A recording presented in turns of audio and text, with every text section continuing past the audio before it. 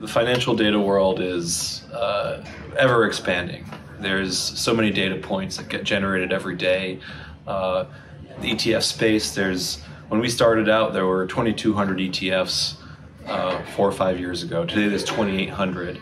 Uh, ETF assets were at three trillion. Today, they're at six and counting.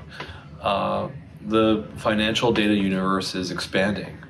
Uh, we created LOGICLY to be able to navigate that world uh, to be able to research and analyze uh, funds and stocks uh, across the world on a global basis and understand how those products fit into portfolios.